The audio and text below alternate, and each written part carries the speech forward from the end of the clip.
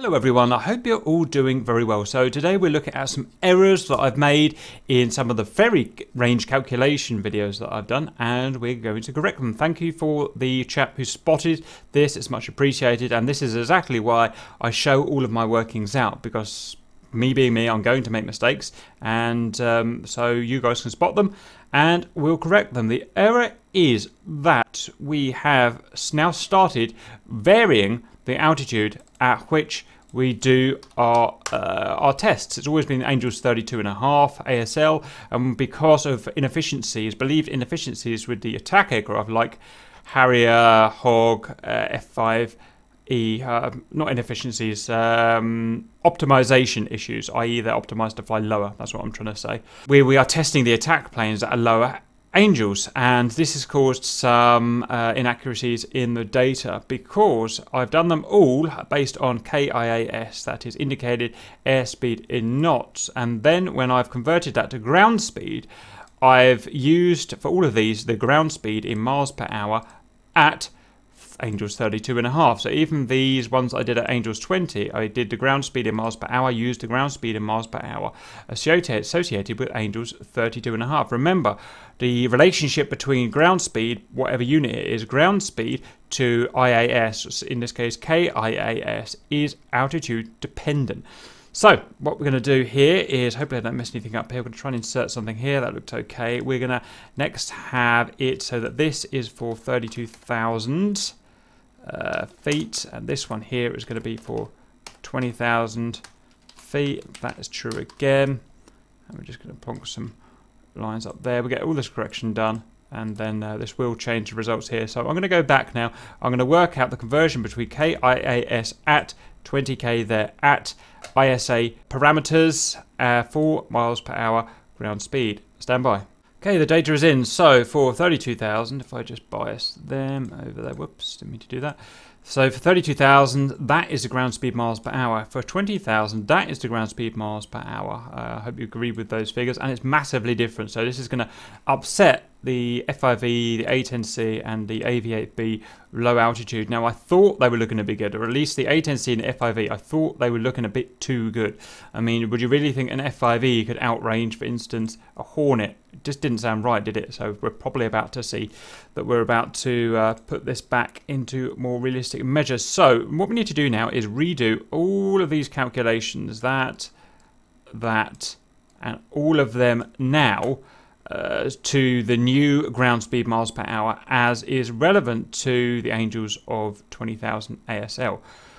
So I'm not going to show all the working out. You can hopefully follow pretty easily. In fact, I'll just do a few and then um, you can just see the method. So I'm going to delete all of them there. I'm going to delete all of them there. AGS is still Angels 32. I've got to redo that yet. Delete all of them there. So I'm going to do this one here for a start. We've got the AV8B uh, 20k. So that is there. If we go to there, that is 96 pounds per minute. So if we go 96 times uh, concentrate brain uh, 60 that many pounds per hour divided by 311 miles per hour ground speed gives us a wow that's a lot of burn rate that's 18.5 to 1 18.5 0.521 pounds per mile. So it's going to make these really inefficient, unfortunately.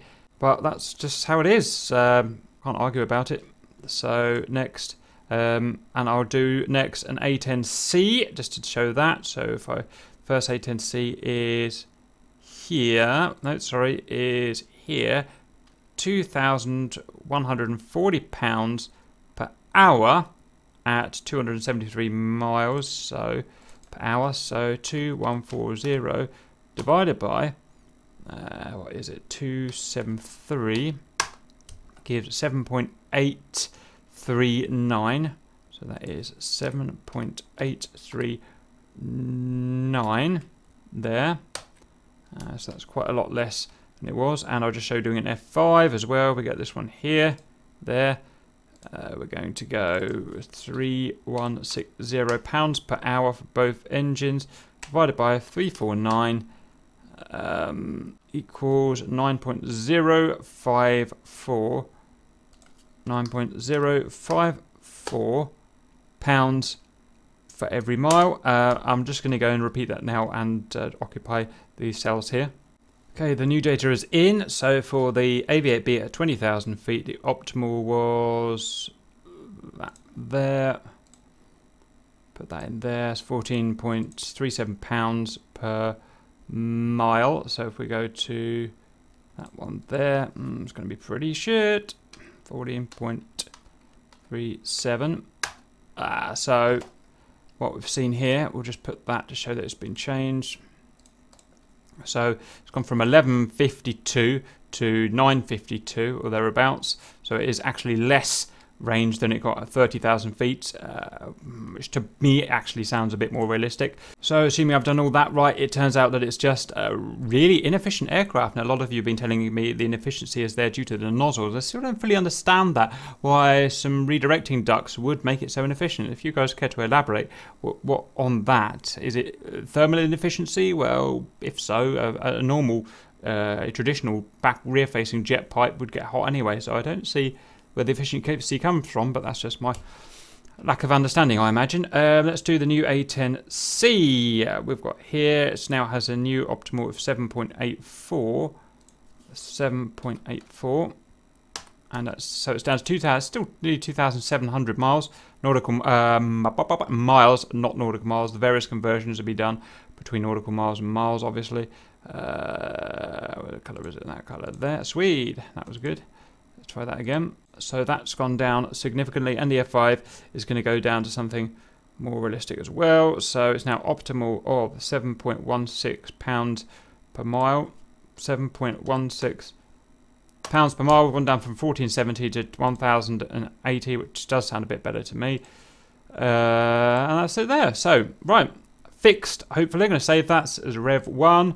And any other aeroplanes that we do at 20k, we will show them uh, as we've got here with the correct conversions. Uh, keep your eyes just to make sure I don't do anything else wrong. I hope that was kind of interesting and see you later.